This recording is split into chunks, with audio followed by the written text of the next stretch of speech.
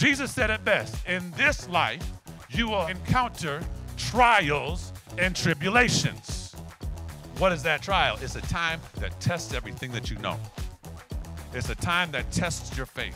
It's a time that tests your determination. It's a time that tests you. We can sit here and try to rebuke the trial. In the name of Jesus, I pray that the trial will go away. God will not dismiss your trial. And now, with today's word, Pastor Tyrone Morrison. Amen. How many brought your Bibles this morning? Amen. Amen. The Bible's the basic instructions before leaving earth. If you brought your Bibles, would you turn with me to Genesis 15? We're going to look at verses 1 to 6. Genesis 15, verses 1 to 6. And I want to continue off of a subject that I began a couple weeks ago where we talked about the power of a paradigm shift. I'll say that again the power of a paradigm shift. And I want to specifically focus on the power of a God given vision. How many know we got to have vision? How many know that without vision, people cast off restraint? We got to have a God given vision. Let's pray. Father, we thank you for this time together. We thank you, Lord, that your word says where two or three are gathered together in your name, that you are there in the midst of them, Father. So we thank you that you are in the midst of us this morning, Father. I thank you that you have prepared our ears to hear. You said, Blessed are those who have ears to hear. So we thank you, Father, that we have ears to hear, that we can correctly hear your instruction and your word this morning. Help me rightly divide the word of truth this morning. In Jesus' name, all who agree said, Amen and amen. Genesis chapter 15, verse 1 says, After these things, the word of the Lord came to Abram in a vision, saying, Do not be afraid, Abram. I am your shield and your exceedingly great reward. But Abram said, Lord God, what will you give me, seeing I go childless? And the heir of my house is Eliezer of Damascus. Then Abram said, Look, you have given me no offspring. Indeed, the one born of my house is my heir. And behold, the word of the Lord came to him, saying, This one shall not be your heir, but one who, will come from your own body shall be your heir. Then he brought him outside. I want to say that again. Then he brought him outside. Say that again. Then he brought him outside. And he says, Look now towards the heavens. So he redirects his attention. And he says, Count the stars if you are able to number them. And he said to him, So shall your descendants be. Here's the key now in verse 6. He says, And he believed the Lord, and he counted it to him for righteousness. I'll say that again. And he what? Believed who? Who did he believe? Are you believing the Lord this morning? And he believed the Lord, and he, meaning God, counted him for righteousness. The last couple last time I was with you, we spent some time talking about a paradigm shift. And here we learned that a paradigm is a set of presumptions, ideas, and standards and behaviors that shape a way of thinking and comprehending certain topics or situations. You know, we learned that we all have a paradigm. Everyone in this room has a paradigm in which we have lived and fashioned our lives after. We have a mental image, a, a, a, map, a mental map that we have used in our life. And to a degree, it may have been su- successful to this point. But how many know that if you want to elevate, if you want to go higher, if you want to be successful in the next area of your life, you cannot continue to operate off of the same old map. We have to change our mental map. We use the example of, you know, if we have a, a map of Minnesota, that's great for Minnesota. But I can't go to Chicago or to New York or to Orlando, to Florida with the map of Minnesota. I can't do that. I'll get frustrated every single time. You will get lost because you're operating based off of the wrong map.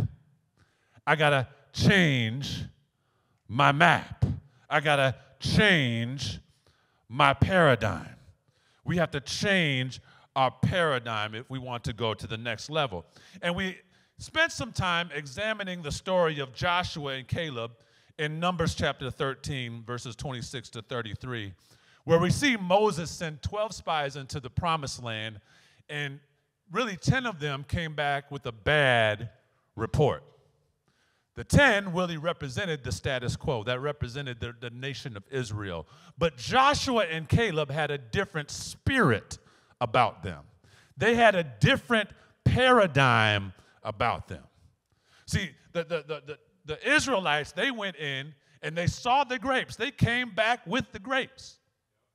They said, Here, it is good for to take. This are the grapes. It is luxurious. It is ripe. This is a good fruit. So you came back with evidence. But still, their mentality could not see them having the evidence. They saw themselves as unable, they saw themselves as inadequate. They saw themselves as seeing the, prob- the problem bigger than the promise. But Joshua and Caleb had a different mindset about them. They saw themselves as well able. They said, We are well able to take this land. Yes, there's all the, the Hittites, the Jebusites, all these ites, the, the, the, the giants that are in the land, but we are able to take them. So we talked about how we, in order for us to shift our paradigm, you got to see yourself moving from being unable to being well able. How many know that you are well able? Amen. We got to stop that negative self-talk saying I can't do this. I won't do. If you keep on telling yourself that, you won't ever do it. You got to see yourself as well able and you got to see yourself as as adequate as having a positive self esteem and a self image. How do you see yourself? When you look in, your, in the mirror, how do you see yourself? The Israelites saw themselves as little and their problem as big. They saw themselves as grasshoppers. But then we saw how Joshua and Caleb magnified the promise over the problem. They saw, they said, Look, we have the evidence. It is ripe for the taking. We can take this land and live in this land. We can do it. They're magnifying the promise over the problem. But too many people settle with the problem and magnify the problem and, for, and, and then they just give up on the promise. God does not want you to give up on the promise. See, even though God's given you a promise, does not mean that you're not going to run into problems. In life, you will have problems. I said, in life, you can try to pray it away, you can rebuke it away, but you're going to have problems. But it's your ability to solve problems that qualifies you to obtain the promise. Amen. So we're going to continue this subject this morning. And I want to continue the subject and speak about having a God given vision. I'll say it again. You need to have a God given vision. See, having a God given vision, it plays a significant role in shifting your paradigm. Because this is here God given vision is centered around your purpose for your life. See, a lot of times we can talk about vision, but we're seeing that, see, without a God given vision, you're really having a limited type of vision that's limited to your sight and limited to how you, how you see things and just your goals. But you know what? God's vision is much bigger than your personal vision. I said, God's vision for your life is much bigger than what your personal vision is. God's vision, it's centered around your, our purpose for life, and it causes us to leave what is familiar and comfortable and pursue what He has for us, causing us to believe Him by faith. It takes faith. God's given vision does not make sense to you at times. It takes faith because it'll go against everything that sight, that natural sight, says for you or what common sense may say to you. It takes faith. By faith, we walk by faith and not by what? We walk by faith and not by sight. But also, it has you believe God by faith, depending on His instruction for us.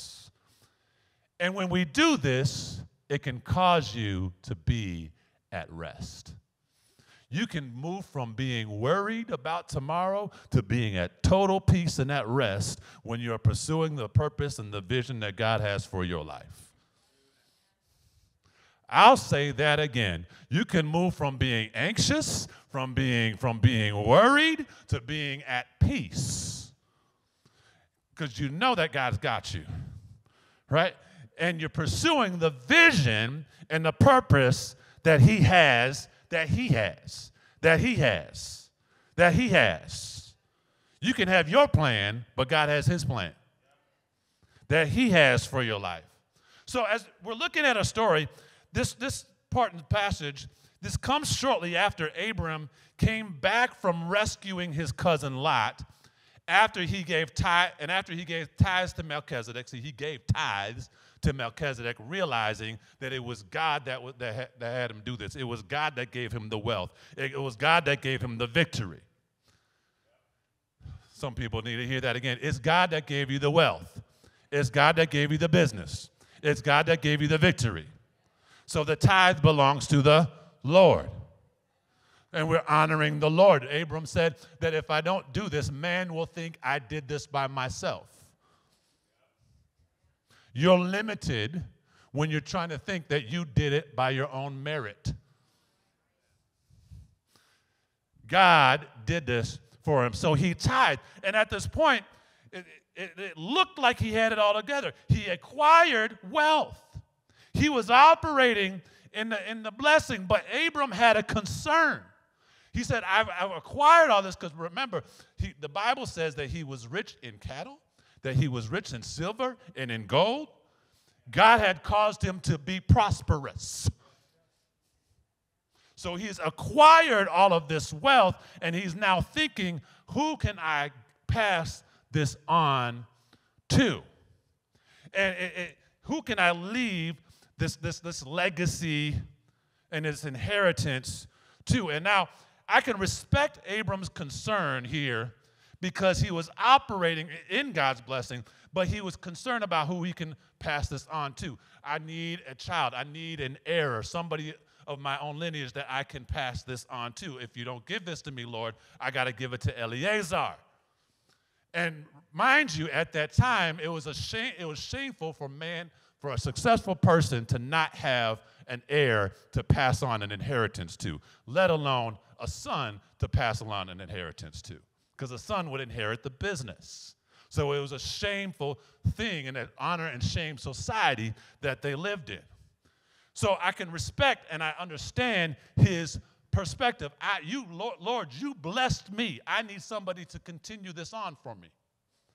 So although he was doing all the right things, he was thinking in the right way. The problem was he was still thinking too small. So he's coming to God with this concern. Because, Lord, you said that you would bless me and make me a great nation. You said that this that, that, my name would be great. How can this happen if I don't even have an heir to pass this to? How can this happen?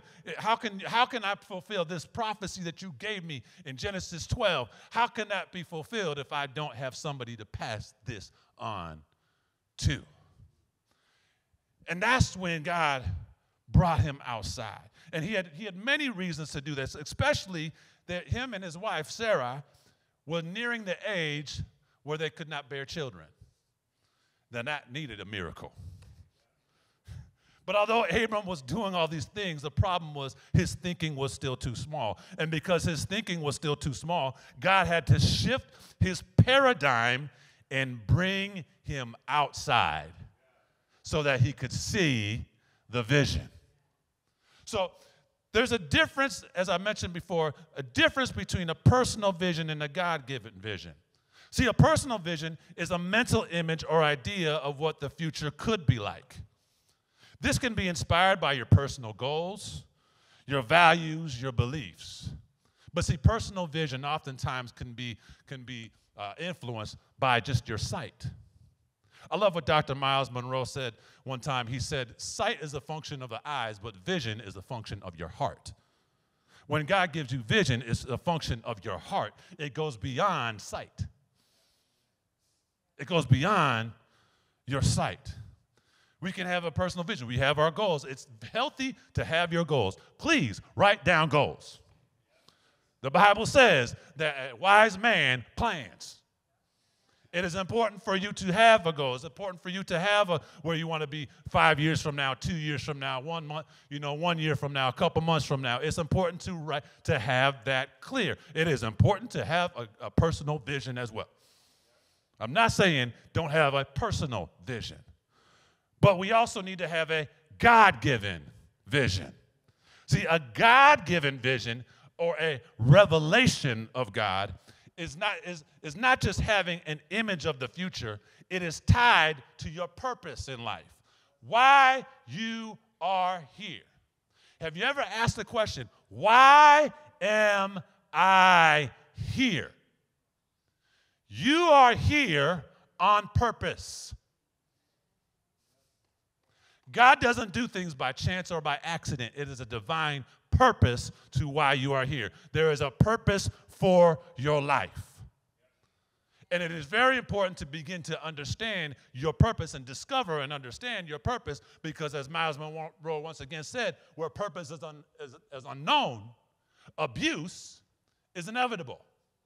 We begin abusing our lives and living our lives without any type of conduct or order because we don't understand purpose.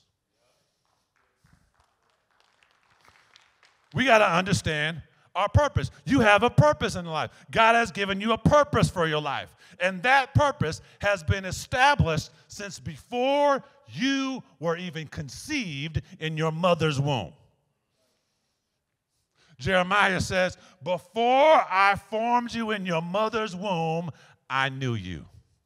You were even you were in the mind of God before he put this he put you in your mother's womb before he formed you in his mother's womb, God was thinking about you. God had a plan for you. He had a purpose. He knew when to put you, what time frame in the history of humanity when to put you here. That's how detailed God is with his vision. He know when you need to be here, how long your lifespan will be, because he knew that the end from the beginning. He knows the plans that he has for you plans to give you a purpose, to give you a future. It is in the mind of God. So that should tell you something. Real vision, a revelation, comes from God. A real vision comes from God. God is the source of that vision. So, in order for us to discover our vision and our purpose, who do we need to seek? God, because it comes from God. He knows he has a plan. And he says, I've already ordained you to be a prophet for a nation. So I already called, I already set you apart. I've already chosen your vocation. I've already picked it. You need to get in line with it. oh, I got quiet in this house. God's already picked what He has called you to do. He's already assigned you. He's put every gift and talent and ability inside of you. You got to discover that now. And you need to get in alignment. Have you ever driven a car that's out of alignment? Things don't function when they're out of alignment. We got to get in alignment with God. He has a purpose for your life, He has a vision for your life. And there's a few things that having a God given vision and understanding our purpose does for us. Number one, and write these down, it focuses your life. It focuses your life. You have a clear sense of direction. You're not going to part when you understand your vision and your purpose, you're not going to participate in things that diminish the value of that thing. I'm not going to hang around people that ain't going nowhere. I'm not going to associate my thing, myself with things that does not attribute to my mission and my vision. If I do that, you're wasting my time. Time is one of the most valuable things that God has ever given you. Is your time. You have 24 hours in the day, 7 days a week. Young people, even though you, they say you have plenty of time, guess what? You don't. That is one of the biggest lies that is passed on from generation to generation. You got all this time to party. You got all this time. No, this is your time to get ahead. This is the time to choose your friends carefully. Where are they going? Do you have do they have a vision for their life? Do they value you? Do they value themselves? Come on. Uh, the Bible says that those who are wise hang around with the wise, but a companion of fools suffers harm. If you hang around five stupid people, you'll be the sixth. But if you hang around five smart people, you will be the sixth. I could tell the future by the people that you hang around and by the, by, by the books that you read. it brings focus to your life. Understanding your vision and mission and your purpose brings focus to your life. Number two, it motivates your life. With purpose, oftentimes comes passion. Are you passionate about what you do? I got up this morning and I'm passionate this morning because I'm operating in line with purpose. God's given me a word to share with you to cause you to shift your perspective and shift your paradigm. Because in order for you to live the life that you're meant to live, you got to shift this thing. So I'm passionate about what I'm saying. That passion drives you. That is like the fuel to your car, to your engine. That is the thing that is going to drive you. So many people are living life without passion because they don't know purpose. Oh, this is just life. Oh, this is just the way that they are. There is no zeal for their life. Don't put yourself around people who have lost that zeal for their life. It's contagious. It is contagious. Just hopeless living. With purpose comes passion. But number three, it prepares you for eternity. There will be a day when we all have to sit before God. And He's going to ask you, Did you do what I asked you to do? Did you do what I assigned for you to do? And the Bible says, Many come to him saying, Lord, Lord, I did this. I did this in your name. I fed the people. I helped out here. I was a good person. But he said, Flee from me, for I did not know you. You did not know me. You didn't do the thing that I asked for you to do. If there's one thing that causes me to have the fear of God, it's that. Because while I'm here, God has given me time. He's given you all the opportunity. He's given you all the resources. He's given you everything that you can ever ask God for. He's already given you. He's put it in the earth. He's given you the time, space, and opportunity. You want to talk about equity? That's it. You want to talk about equity, time, space, and opportunity? It's it. This is a divine principle. What are you doing with it? Are you spending time complaining, pointing at the finger, blaming everybody else for your problem? Are you looking at yourself saying, How I can be better? How can I do this? How can I step into my purpose? How can I, how can I do this? Because at the end of the day, I got to face God. And if I don't answer that call, he has the power to send me down to hell, even though I confessed you all day long. I shouted at church, I did all this stuff, but I didn't do what you assigned me to do. I could not receive my well done, my good and faithful. Because you, weren't oper- you weren't operating by his purpose and his vision for your life. It prepares you for eternity. I love what Proverbs 29 18 says, where there is no revelation, in other words, vision, of who? God. A godly vision. I said a God given vision, because you can have a personal vision, but still cast off restraint. Where there's no revelation of God, people cast off restraint, but happy is he who keeps the law. You got to understand this vision, God given vision and purpose that God has for your life. As we look at Abram's purpose, we see that in Genesis chapter 12. Genesis 12, 1 to 3 says, Now the, the Lord said to Abram, He's giving him a revelation, the vision, get out of your country, from your family, from your father's house, to a land that I will show you. So he didn't know where he was going, but God knew where he was going. To a land that I will show you. I, not you, I, not you, I will make you a great nation. And I will bless you, and I will make your name great. And you shall be a what? So, God doesn't just bless you for the sake of you. He blessed you to be a blessing. So, in this passage right here, he's showing Abram his purpose. I want to cause you to be a blessing, referring to how he's looking for somebody that he can establish his covenant with in the earth. I'm blessing you. I'm causing you to be successful. I'm causing you to be fruitful and multiply so you can establish my intention, my plan in the earth. That's your purpose, Abram. I'm causing you to be a blessing. To be a blessing. I'm causing you to be a blessing, and you shall be a blessing. And I will bless those who bless you, and I will curse those who curse you. And in you. So now it's pointing to the seed of Abraham. Really, when God's speaking to Abraham, he's speaking to himself, he's speaking to Christ.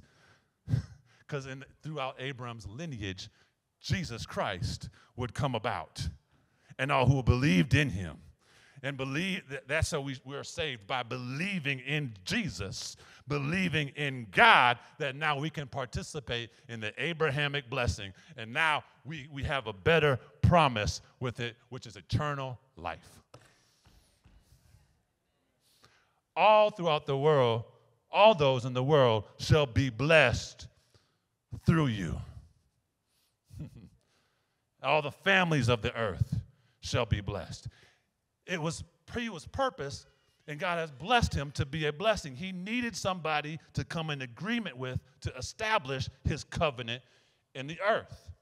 But in order for that blessing to work, it has to have something to do with. God needs us to be vessels so that he can operate we can, he can operate through us. God's just not saying, I'm gonna bless you and you do nothing. We praise Him. God bless me. Hallelujah. God bless me. I'm blessed. As it's attributed to a feeling. you can get encouraged. You can have, you know, just be inspired. But what are you doing with that inspiration? Abram was not just somebody wandering around the desert. You know that he had businesses.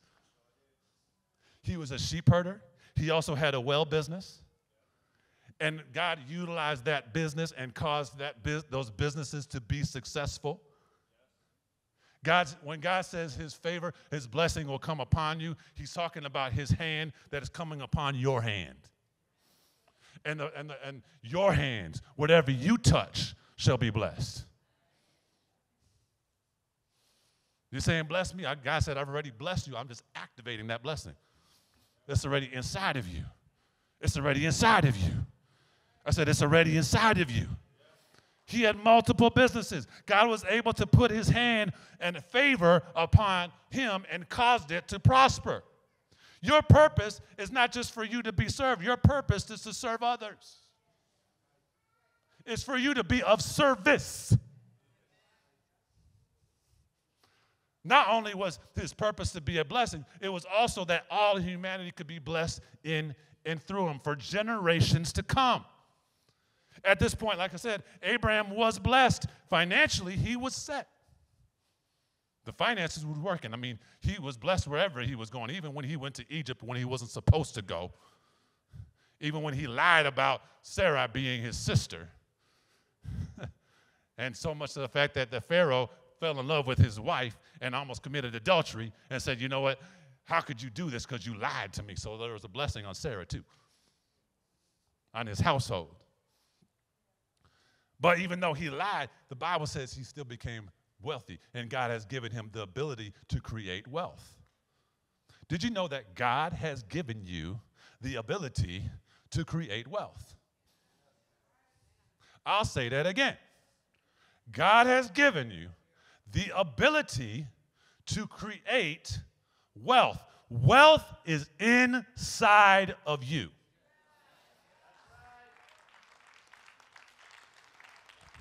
Wealth is inside of you.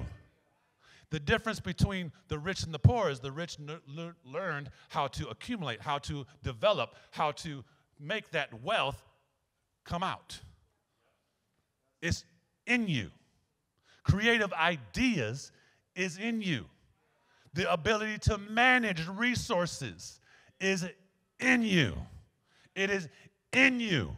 It is in you. Now to him who was able to do exceedingly abundantly above all, according to the work that is what? In you. It's in you. It's in you. Wealth is in you. God's no favor of persons. He's not, a, that doesn't matter what side of the, the street that you're born on. He is not a favor of persons. If you start activating these principles that God has in, in the B I B L E, favor will follow you all the days of your life. It is in you.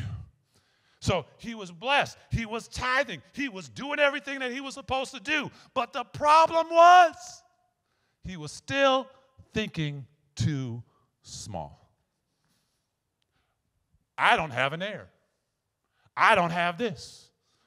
I don't have that. You're thinking too small when you start saying, I don't have, I don't have, I don't have, I don't have, I don't have this. Now, he was right in what he was thinking, but he still was thinking too small. You can be right in how you're thinking, but still be thinking wrong. This happened so much to the fact that God had to bring him outside. See, for us to shift our paradigm and receive our God given vision, this is what we got to do. We must come outside.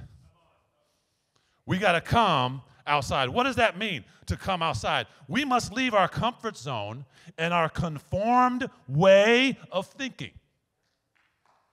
You have a conformed way of thinking. Somebody told you how to think.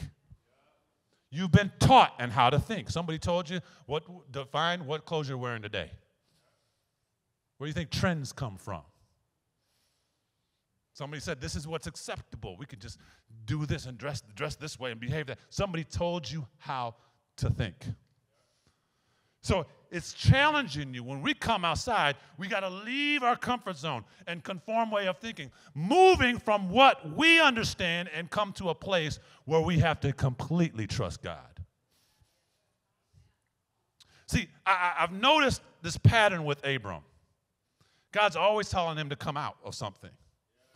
Re- realize in Genesis 12, when God first revealed himself to Abram and he, he instructs them to leave his father's house. Uh, and and I, I question, I'm like, God, why are you telling him to leave his father's house? Why are you call, calling him to leave his family, those who he loved, those who he, he was kin to? And he brought me back to the chapter before when he talked about his father, Terah.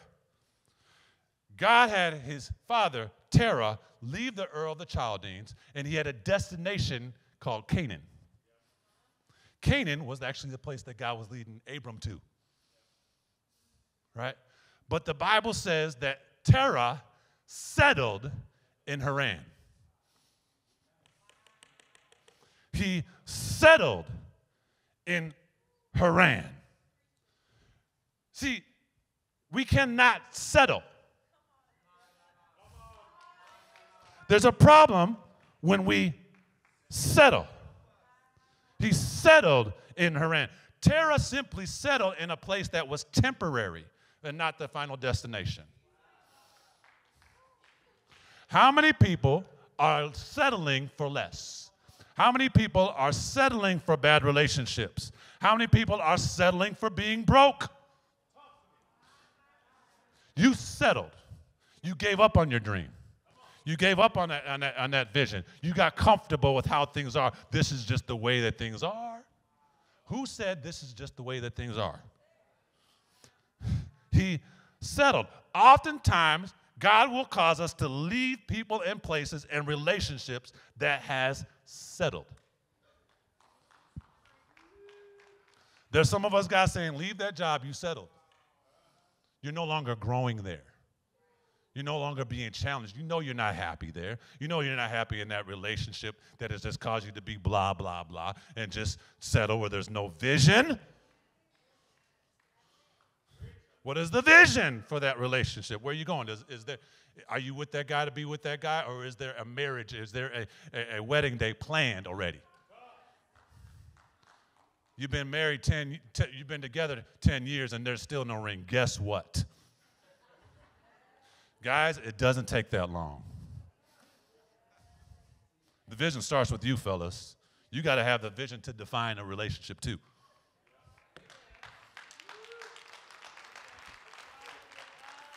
That's a free one. You got to you got to get out of the place of being settled. Settled, I'm just comfortable with how, how, I've, I've, achieved. There's still more to life than, than, than, what you've, than what you've already done. There's still more to life. You're in trouble when you start selling. Oh, I'm just, I'm just done. I'm done working now. No, when you're done working, you're dead. Now, retirement means that your, your, assets have, have accumulated so much that you no longer have to go paycheck to paycheck, right? That's the definition of retirement, but it never means stop working. God created work. Why would He ever have you stop working? You now you have other you have a chance to pursue other passions and other things that you want to do, but you're still moving. Then you stop moving is when you're dead. Stop settling. I rebuke the spirit of settling in the name of Jesus. I rebuke the spirit of settling in the name of Jesus.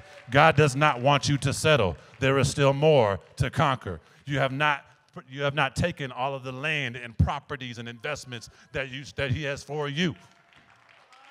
Somewhere along the line, you've settled. Do not settle for Haran when God has given you Canaan. That ought to get you shouting this morning. See, why do people settle? One is because of fear. You're afraid. You're afraid of taking a chance. You're afraid of the unknown. You're afraid of, of all this. Guess what fear is? It's false evidence that appears real. That's what fear is. And guess what? God did not give you a spirit of fear, but power, hope, and a what? Sound mind. Fear stops people, has people settle. A low self esteem has people settle. Social pressure. Did you settle for that man? Because everybody was pressuring you. You didn't have one yet. You didn't have one yet. You didn't have one yet. Did you settle for that when you knew that that wasn't God's best for you? Or that woman? Or that job just because you just needed a job and you, I just needed to pay the bills, but it's not in line with purpose? Did you settle? Did you settle? That's why you're not happy because you settled. You're not happy because you settled for this. Just good enough. No, good enough is not good enough. you got to stop settling. Low self esteem, having grown comfortable with where you're at. Whatever the case may be, God has not called you to settle and to conform. Instead, He has called you to be set apart and transformed. Transform. Genesis 15, God tells Abram to come outside, and he had to leave his tent. In other words, he had to come out of his limited sight. His sight was limited to what he understood. And watch this once he got outside, God caused him to look to the heavens. Look up. Look up. You're looking at everything else from this perspective. But by faith, God calls you to look up. And he says, Count the stars if you can. Not just count the stars, if you can. So there's so many other stars that goes beyond your sight. Count the stars if you can. And he says, So shall your descendants be. In other words, my vision for you transcends your sight. It goes by goes beyond your sight. Your sight, if it's your vision, it dies with you. But my vision will go on for generations to come. It is your sight. You got to look up and see the stars. How many know that God has a vision and a purpose for you? Somehow, God has a vision and a purpose for you. It's going to live beyond you. You know, I love the story with, with Walt Disney and, you know, when he built Disney World. How many know that he did not see Disney World? Disney World was complete after he died. And, and they interviewed his wife one time he while they were opening, and, she, and they said, it, Wouldn't it be great for Walt to see this? And she said, You know what? He already did. It was in his eyes. He was already there. He was already there. He was already there. And now, Disney World is even bigger. It's all over the world. See, that's the power of vision. Now, you, might, you may not agree with everything about Disney, but somebody who was secular understood the principle of power of a vision. And it was around his motivation, his why, his purpose was around families getting together and having a good time. It was not thinking just about his family and his kids didn't have a place to go. He said, How can I make something and create something where all families all over the world can come and have a good time? And guess what? If you've ever been to Disney World, you have a good time. They have something about it. They call it a magical place where grown people become little kids. I remember the first time when my, I brought my wife there and talk about a grown woman who became a little girl once she saw Cinderella. this, this grown, anointed woman of God was pushing little girls aside to get a picture with. but see, it taps into your imagination, right? That's a vision. See, he has a vision for your life. And see, for us to shift our paradigm, we must come to believe that vision God has for us. Genesis 15, 6, it says, And he believed the Lord, and he accounted him for righteousness. Dr. Myles Munroe once said in his book entitled The Principles and Power of Vision, he said, Purpose is when you know and understand what you were born to do. And a vision is when you can see it in your mind by faith and begin to imagine it. See, it's when you begin to see it in your mind and in your heart, that's when you begin to believe it. You got to see it. So many people are living with sight but not vision. You don't see it. You got to see it. When we believe something, this means that we have come in agreement with that thing. And it's our beliefs that dictates our attitudes, it dictates our behaviors, and even how we interact with people. Your belief system. You believe in it. So here it says that Abram believed God. In other words, because he believed God, he, his belief shaped how he related to God and others. And it shaped how he conducted himself. You start acting different when you see and believe the vision that God has for you. You start, act, you start acting different. There's just something that changes within you. You start, it starts shaping things around you. It starts, you know, affecting your attitude, how you see and understand the life, and how you see and understand how to relate to other people, how your, your behavioral actions start to change. Even how you dress yourself changes. Even how you walk changes. Because I'm dressed like this. Why am I dressed like this? Because I got to work and I got I know where I'm going. I have to dress for the occasion, for where I'm going. How many know heard the saying that you says that you have to dress for success? So in other words, you can't wear yesterday's clothes and tomorrow's blessing. You cannot wear yesterday's clothes. You got to dress the occasion. God caused Joseph to change his clothes. Your conduct, how you present yourself, matters. 90% of what you communicate is not by words. I can tell you're serious if you if you just get up and out of bed, you don't do your hair, you don't do nothing, put don't makeup on, don't do don't do nothing and say, Lord, this is just as I am.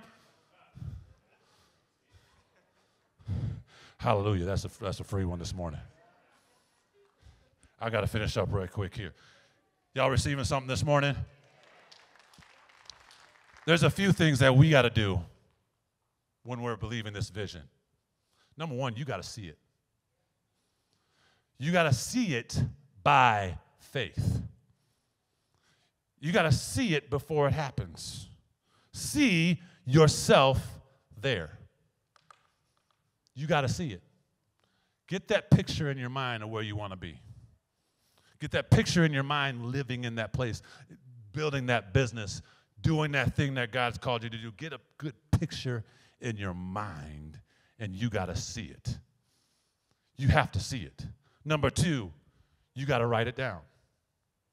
Habakkuk 2 2 says, Write the vision down and make it plain. You have to write it down and make it clear enough for the runner to run with it. You're not the only one who is to understand the God given vision. When it's a God given vision, He will have other people that participate with that vision in order for that vision to come to reality. If it is not clear, it will die with you. God's vision is not just your personal vision. This is a bigger vision that includes many other people to come alongside and help you build the vision. Number three, you got to speak it. Scripture says that God spoke things that be not as though they were. You have to change your language and start speaking it like you're already there, like it's coming to pass. You have to speak it. Number four, be it. You got to embody the values that you want to see happening. You have to embody the vision. Because when God calls you to leadership, they need somebody to embody what, they, what, what their leadership is about, what that vision's about. You got to embody it. Number five, live it. You got to start living as if it's not, if, although it's not there yet, you got to start already acting, talking, walking, living as if it's there. And when you start doing this, then you can start bringing that into reality because you've already been there. As I said, Walt Disney was already there before Disney World was built. It was in his mind. He was acting it. He said it needs to be like this, like that. There's video of him saying that Disney World is will have these, these different lands here, and it's over time it's going to be building and building and building. And guess what? They're still building. He's been dead for a long time what they say, 50 years for Disney World last year? That's as long as he's been gone. but his vision is still living. Real quickly, for us to shift our paradigm and receive God's vision, we must allow the we must follow the instructions God has given us. As I continued to study this passage, I couldn't help but notice how God would tell Abram how he would inherit the land and God has prom- what God has promised him. Moreover, in verse 8, Abram asked this simple question. He says, How? How? That's a very reasonable question. How? And this is what God says in verses 9 to 11. He says, God, God has given him specific instructions to which he, he had to get the animals, the specific animals, to offer as a sacrifice to the Lord. He was to offer up a heifer, a three year old female goat, a three year old ram, a turtle dove, and a pigeon. He was to go and gather, means he had to go and kill off those, those animals. He had to go to work. And then it also says that, that Abram had to fend off all the, all the pigeons, all, all the, the birds. In other words, while you're doing the vision, you're building the vision, there's some people you got to fend off. The buzzards, people that have no vision, that just sit around dead things, you got to fend off. But then, as he did this, the scripture to- shows us that God causes him to fall asleep now. Now, while he's asleep, the Bible says that the Spirit of God came between them like a fire and consumed the sacrifice. See, we sing all the time, you deserve, you provide the fire, I provide the sacrifice. That's what pastor's what he's talking about. You provide the sacrifice. See, we want God's promises with no sacrifice. You're not going to get the promise without the sacrifice. He had to build a sacrifice unto the Lord. Same thing when he offers his son Isaac on the altar. He had to go and build, build, a, sacri- build a sacrifice. God said, Bring your son up there. So he's building the altar. Son saying, Where's the wood? But what is he saying all the time? God will provide. God will provide. God will provide. God will provide. And as he was building it, about to kill his son, somewhere in the thicket of the uh, of with the, was a ram with his, his horns caught, and God provided the ram. God was looking for his obedience. And that's what ca- caused him to be qualified to be the father of many nations and not just a great father, which was what Abram meant, his name. He caused him to be Abraham and a father of many nations. You got to be willing to follow the instructions and have obedience with those instructions. And once he was able to do that in Genesis, back in Genesis 15, he could rest. Now, I wouldn't say that dream was a good dream because that showed what his people would go through. But he says, be, be, be not afraid. I'm going to bring them back to this land and they're going to prosper. See, it's interesting. The story began with him being concerned, but it ends with him being asleep when you're following the vision and the purpose God has for your life, you can have you can begin being concerned, but God will cause you to go to sleep. In other words, when you're pursuing his purpose for your life, although all hell might be breaking loose, this doesn't make sense. I can still sleep at night. I sleep at night. At nine o'clock is bedtime. Sleep at night. Ain't nothing good happen at, at midnight. No, what you all up in there for? You got to sleep at night. There's a reason why the sun is down at night. Go to sleep. And you can have this peace. In this peace, you don't have to worry about a thing. Be, you don't have to worry about a thing. Be anxious for nothing. But in everything, through prayer and supplication, make your requests be made known that the peace that surpasses, surpasses all, all of our what? Sight, our understanding can guard our hearts and minds, hearts and minds. Don't let this stuff get into your heart. Don't let bitterness get into your heart. Don't let strife. Don't let fear. Don't let all that stuff get into your heart. Instead, we exchange that with God and believe Him and trust in Him in all of our ways. And He starts directing our path. You can be asleep. That's why Jesus says in Matthew 6 33, he says, Why you worry about tomorrow? You're sitting about worry about where's the food going to come from, where all this is going to come from, where, how am I, how am I going to do this? He said, Look at the ants. Look at the, look at the ants. Does not God provide for them? How much more? how much more will your God provide for you? Instead, he says, but seek first the kingdom and his righteousness, right? Seek first, so your priority should be pursuing the vision and mission that God has for your life.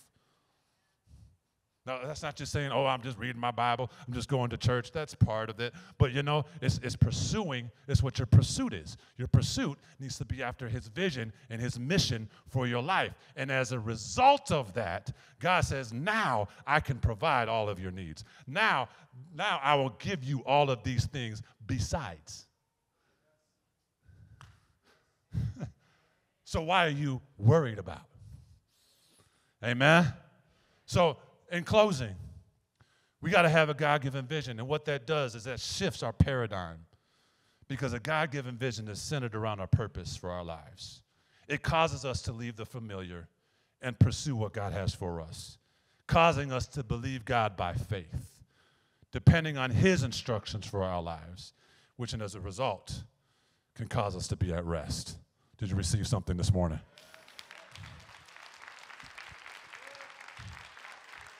We got to have a vision. Without vision, people cast off restraint. We're going to pray for you this morning. Father, we just thank you in the name of Jesus. Thank you, Father, for a God given vision, Father. As we lay our hands, let's lay our hands on our eyes, Father. We just thank you for vision, Father, that you cause us to see by vision. I just, I'm thinking about the Apostle Paul when he was on the road to, to the, you know, on a, this road called Straight. And you encountered him there. And you changed his sight and caused him to have vision.